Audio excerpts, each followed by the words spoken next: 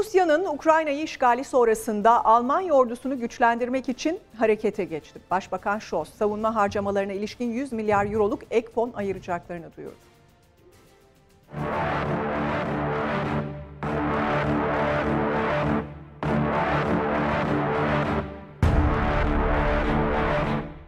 Rusya'nın Ukrayna'yı işgali sonrasında Batı alarm durumuna geçti. Almanya savunma harcamaları için 100 milyar avro ek fon ayıracak.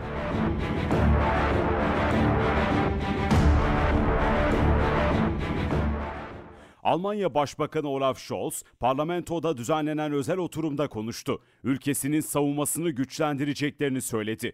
Bu kapsamda savunma harcamaları için 100 milyar avroluk ek bir fon ayıracaklarını açıkladı. Söz konusu özel fon 2022 yılı bütçesine eklenecek.